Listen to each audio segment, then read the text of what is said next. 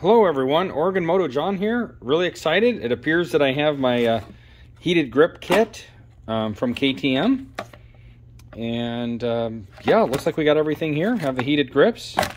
Have this little, uh, I don't know what you'd call it, relay device. Um, looks like it plugs in. Um, my only complaint is it came with these instructions or lack thereof.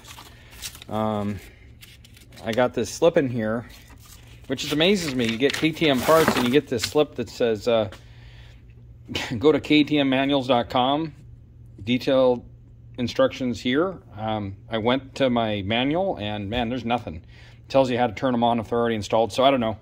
Maybe uh, I'm missing something. That's very likely. Um, anyway, just got these today. It's um, was gonna wait till tomorrow to do the install because I've kind of done a normal work day, and but I can't. I just can't take it. So I'm gonna uh, try to install these tonight.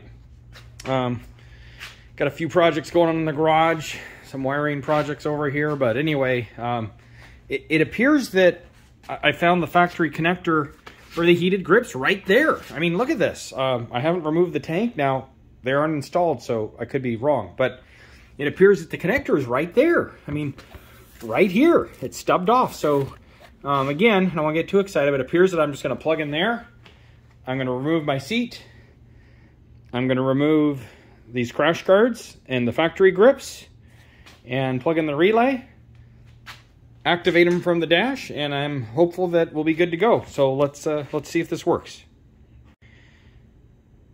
Um, sorry if I'm excited, but I've been waiting many couple months or more for these, riding in 30 to 40 degree, 50 degree weather, and keeping warm, but man, I love heated grips. So especially when it's cold here in Oregon um, and it's wintertime. So anyway, super pumped. Hope this helps somebody with the install. Um, I found a few pictures online from Adventure Rider and kind of showing where the plugins might be. So if it weren't for them, uh, I wouldn't even know where to begin with this install. Um, but because of that, I was able to look at some of the pictures. So thanks, guys. Um, you know, wouldn't be able to do this install without without those pictures because I got nothing from KTM before I get too far into the install, I'm going to start by um, taking off this plug-in because I'm not even sure if this is the right one. Um, you won't have this. This is just something I run for my heated vest, so don't don't look at that. But it's right here. Um, and then I'm going to take the seat off, put in the relay, and see if I can activate the heated grips before I start taking off my current grips because I do want to be able to ride the bike um, in case in case I have this wrong and I don't have time to remove the tank tonight. Um, just don't have that much time. But anyway, let's see if we can get these uh, just kind of plugged in, mocked up, and see if it uh, if they work, and then we'll do the full install. So I found the connector. It was backwards, so I turned it around so I could get at this little piece here that um, I'll depress this little prong, and then this this little tip should pull off. So once I pulled that tip off, it, display, it displayed that connector. So I'm going to try plugging the uh, heated grips into that. So this is the way I think this is going to work. This is my non-throttle side. You can see this is the throttle side. I believe this is going to plug into this pigtail. And I believe this is going to plug into the connector I just removed the cap off of. I'm going to put some dielectric grease in here and on here and um, let's see what happens. Okay, I got my throttle side here, went around um, kind of with the front brake hydraulic line, wound around through the frame, came back around to my little connector there. I'm going to connect in there, and it looks like this is going to be the best connector to plug the left clutch side grip into, which I have set mocked up here and have coming around here, following these wires around, back through here. And I'm probably going to secure these wires up in this little tunnel. But I just wanted to kind of point out, it looks like I'm actually going to change which side of the pigtail, because this one just naturally seems to fit back up in here. And this one looks like it's going to more naturally plug in with the um, with the grip on this side. So I just wanted to show what I'm doing here. Okay, I've got this plugged in. This to the left grip. the pigtail um, back in there, which attaches to the right grip. And now it's just a matter of uh, removing the seat and then popping a little relay in in front of the what I believe is the fuse box. So let's go ahead and remove the seat. Um, of course, you guys know how to do that, so no big deal there. We'll just kind of put this in here, um, remove the seat, and we'll uh, we'll see where that relay goes. It appears that this is the um, dummy plug that I'm going to be on, or the dummy plug here that I'll be unplugging to uh, plug into the bottom of this, which will go in, you know, up against the current fuse box up in here. But let's see. Okay, so this piece is on a bracket right here. And I just took and pushed this to the right and it popped off the bracket just with my fingers. Didn't have to use a lot of force. Now this is, as you can see, pulling up. I'm going to press this button and unplug this. Okay, so this little end um, pulled off. You can see it's a dummy plug. And now this connector is going to plug into the bottom of this. Um, and then this will be kind of countersunk back up in there. So this um, wire pulls out a little bit if you just kind of finagle it around. Um, before I get this in its final resting place, which I believe is under here a little bit, I just want to plug this in and see how it, um, and see if I can get things to power up and work. So here I am turning on the ignition. Uh, I'm going to go into the menu, um, see what we can find. I remember seeing this when I was writing. Um, where were the grips? Was it in there? Let's go into settings.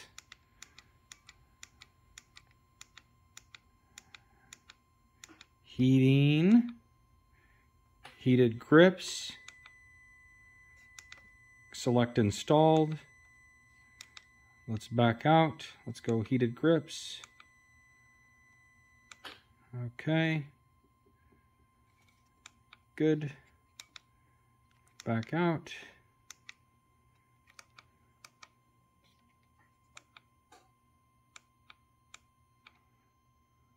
Okay, let's see what that does.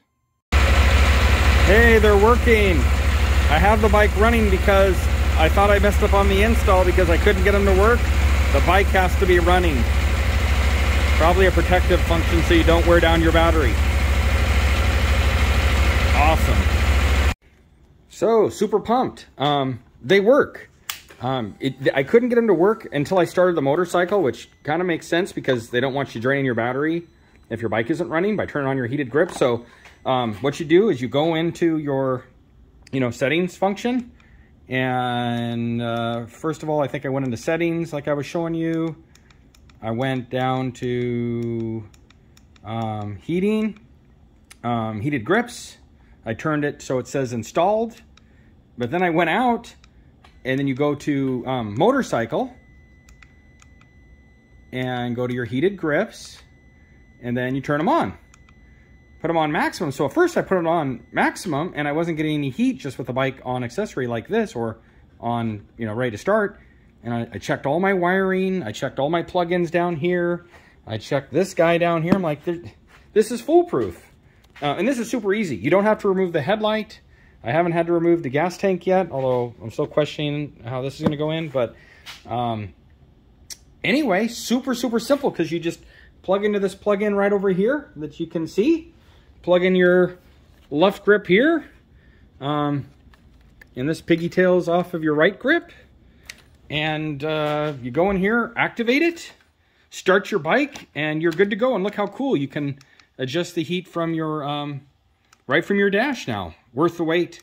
Um, but they won't activate until you start your bike. So I, I literally thought my install had failed and quit recording because I'm like, wow, this is crazy. There, nothing's working. But you have to start the bike. Um, so now it's really just a matter of, uh, I'm going to go ahead and remove these grips. We'll take this screw out, um, take off the, uh, you know, factory grips, take off the crash guards over here, this screw here, and a couple there. and uh, put the heat grips on here, crack this open, put that throttle throttle side grip in. I just didn't want to go through all that work and then not have them work. Um, and then it'll just be a matter of really figuring out how how this tucks in here. Um, it's a little tight down here, um, so we'll we'll have to work on that a little bit. But they work. Pretty easy install so far. We'll uh, we'll see how it goes. It appears to me that this thing just kind of slips down in here. Um, so I'm just going to spray this with some silicone just to make this a little slippery and see if I can slip it in there. With a little finagling and some silicone, I got this to fit up in here just right. Um, I did remove this, just this fuse, extra fuse cover for a second and just kind of wiggled it back and forth and it popped right in there. So um, I'm happy to report, guys. I um, I know in some bikes, it sounds like this um, stub up here is um, under the tank. So if you can't find this little stub, you'll have to remove the tank. But I was really happy in this particular install. Um, it was just right here in the middle of the frame, and I could just pop off the little end and and then this, you know, I was able to finagle in here and unplug the dummy plug from the back and the heated grips work. Um, so hope this helps. Uh, let's finish the install. Okay, so to remove the crash guards, we just need a six millimeter Allen um, bit on the end. Remove this. And then next, you just need a Torx 30 for, for this right here and um, remove that. And then on the back side, there's a, uh, excuse me, a 10 millimeter. And um, just hold that on the back side as you unwind that. Okay, it looks like to remove the grip, the stock grip, um, there is a, uh, excuse me, there is a little bit of a screw right up in there. I know it's hard to see right right there. Sorry, this isn't really focusing, but it's right in this pocket here on the bottom side. And this is a um, this is a T15. So you're going to loosen that and then this grip will come off. And that access point is is right right there, kind of next to your your horn, basically. Sorry about that. It's hard hard for me to get one-handed. Okay, once you loosen that screw, it pulls right off. Okay, now that I got it off, I can give you a better view. Here's that Torx 15 bit. It's pretty small. It looks like it's pretty lightweight metal, so just be careful you don't strip it out or else it could make for a difficult, you know, getting that out. I mean, you eventually get it, but that's that Torx 15, and that's kind of right here by your little uh, horn, horn switch. Um, all right, so that's off. Let's put the new grip on. I'm just still so excited. I've had installs of these where I had to remove the uh, um, headlight assembly and different things on this. You don't need to do that. And so look at this. We're going to get this on. And um, it also has a set screw and the same orientation it appears. It has a place for this wire to countersink around so that you don't smush it. So you can see how that indexes into this slot. So let's do that. Okay, now that's indexed in there. And then this is just going to install right onto here. So easy. Give it a little twist, get it on. Get oriented where you want it. And I'm going to put this in the same location as the other one so that the hash marks are about like so. And I'm going to put that adjuster at the same spot. I'm going to put this adjuster at the same spot so that that little hole or the little Torx 15 is is right there by the by the horn basically and I'm gonna make sure I get this where I want it and then snug it up. I already ran the wire around here um, where I wanted it to go but we'll we'll undo these and tidy that up. Just a quick little note. Um, these are very um, you know, the Torx 15 is small, so I just snugged it by hand and I didn't go Gorilla tight on there. Just, you know, snug it up. You don't want to strip that little bitty aluminum screw in there. So just a word of caution. I didn't strip it, but I could tell soft as that is, it wouldn't take a whole lot. Okay, obviously, we're going to go ahead and put this crash guard, guard back on the same way it came off. Okay, next, let's take off the other side, this crash guard, this 6 millimeter hex, and uh, take these off or loosen them up. Um, pull this off the end. Looks like we'll need to loosen up a couple of uh, uh, Torx bits up there as far as I can tell. Okay, it looks like it is indeed a Torx um, T25, which is located um, here and here. So you loosen those up, and I believe this will uh, split in half, and you can change out your throttle. But we'll see. Okay, so here's the uh, other throttle tube, the old one. You just slip that off. Notice there's a notch there. And then the new one we're going to slip on. Um, I just need to get some slack in the wiring to complete this mission. And then it's going to slide on the end.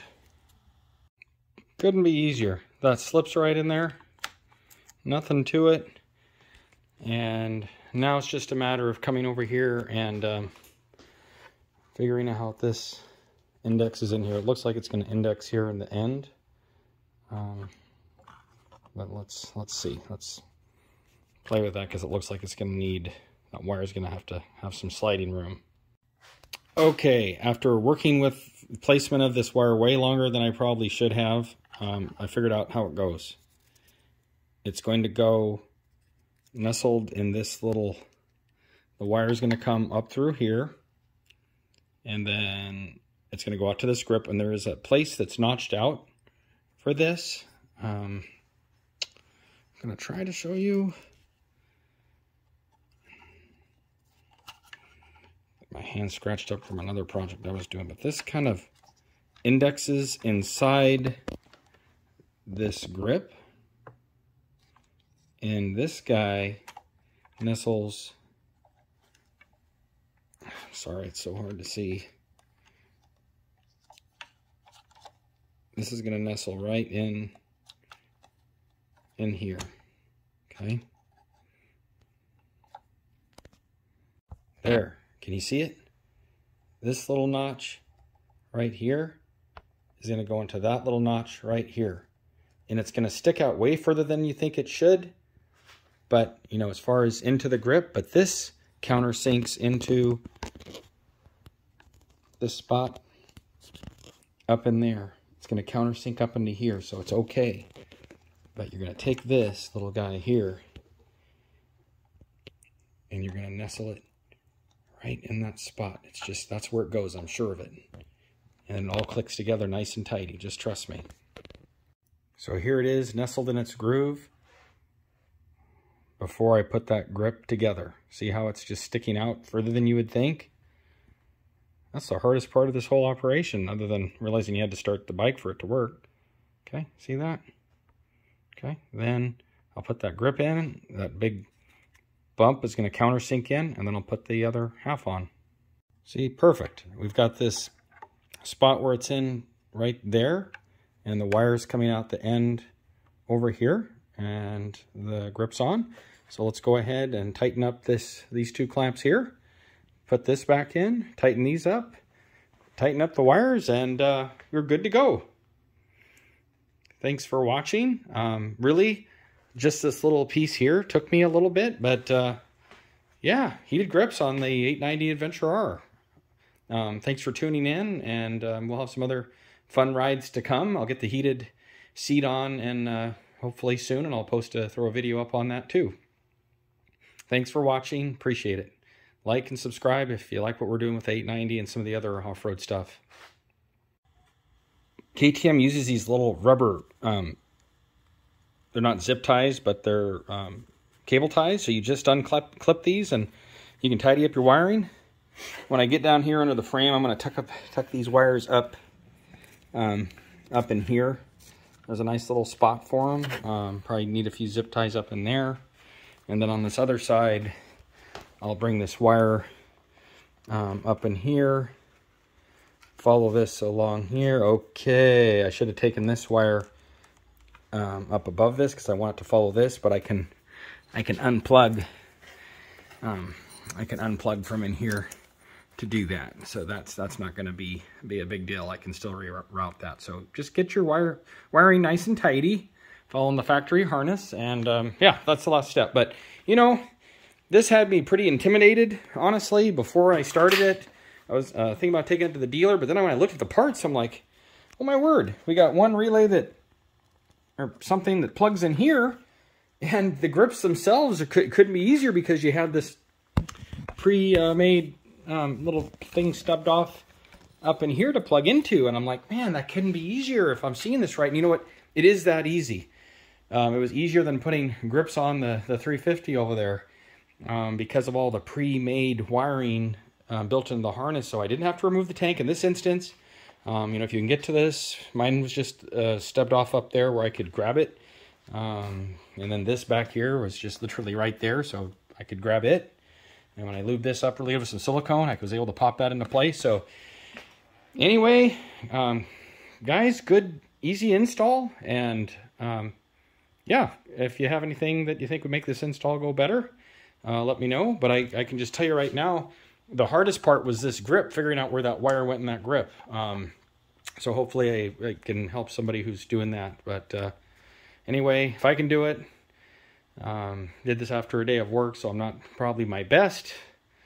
Um, you you can do it too. Um, yeah, don't hesitate. And thanks for the um, subscriber who recommended when I was complaining about not having heated grip. Somebody said, uh, "Why don't you buy them for a 890 Duke?" And so that's what I did. Um, that's that's what's on here, but they're evidently the same. I thought it was a great idea. So thank you um, for for giving me that tip. All right, right on. Now we're going to have warm hands. I'm pretty excited about that. Uh, heated grips are awesome, and they run from the console. Just be sure to start your motor when you're testing them because that, that took me 10 minutes of unplugging things, plugging things in. I switched a few connections around just to make sure that I didn't do something silly. And um, anyway, start your motor, activate the heated grips and where I showed you how to activate it and, the, or it says installed and then back out, go to motorcycle, go in there and actually turn the grips on, start the motor, and make sure that they are on. And um, yeah, they'll, they'll work. All right. Have an awesome day. Thanks for tuning in. Bye-bye. Last tip here, just make sure that wire doesn't hit your clutch. I got plenty of room there, but I kind of had to wrap this around and um, came up under through here and through here so that it, it didn't impede the clutch. You could also, um, you know, rotate this this whole assembly down so that screw isn't at the bottom. But I, I there's plenty of clearance here. Um, it's not going to hit ever, but just make sure when you're doing it that you got this sucked up tight as it goes around this bend um, so that it doesn't impede your clutch usage. And then, you know, of course, double check your throttle. Make sure it's smooth. Shouldn't be any um, any friction there, so just double check that. All right. Um, you know, and it's funny. Um, I thought this was going to be much harder, but it wasn't bad. And, and you know, sometimes you can have a, uh, you know, a day that's uh, busy and doesn't always run smooth. But then you come home, you got some grips sitting on the counter, and you put them on, and it makes your day. And the install actually went smoothly, which I have to admit, somewhat surprised me. But this, this was a good one. Easy, easy, easy. Go for it. Hello everyone, Oregon Moto John here. Really excited. It appears that I have my uh, heated grip kit um, from KTM. And um, yeah, looks like we got everything here. Have the heated grips. Have this little, uh, I don't know what you'd call it, relay device. Um, looks like it plugs in. Um, my only complaint is it came with these instructions or lack thereof. Um, I got this slip in here, which amazes me. You get KTM parts and you get this slip that says, uh, go to ktmmanuals.com, detailed instructions here. Um, I went to my manual and man, there's nothing. It tells you how to turn them on if they're already installed. So I don't know. Maybe uh, I'm missing something. That's very likely. Um, anyway, just got these today. It's um, was going to wait till tomorrow to do the install because I've kind of done a normal work day, and but I can't, I just can't take it. So I'm to uh, try to install these tonight. Um, got a few projects going on in the garage, some wiring projects over here. But anyway, um, it, it, appears that I found the factory connector for the heated grips right there. I mean, look at this. Um, I haven't removed the tank. Now, they're uninstalled, so I could be wrong. But it appears that the connector is right there. I mean, right here. It's stubbed off. So, um, again, I don't want to get too excited, but it appears that I'm just going to plug in there. I'm going to remove my seat. I'm going to remove these crash guards and the factory grips and plug in the relay, activate them from the dash, and I'm hopeful that we'll be good to go. So let's uh, let's see if this works.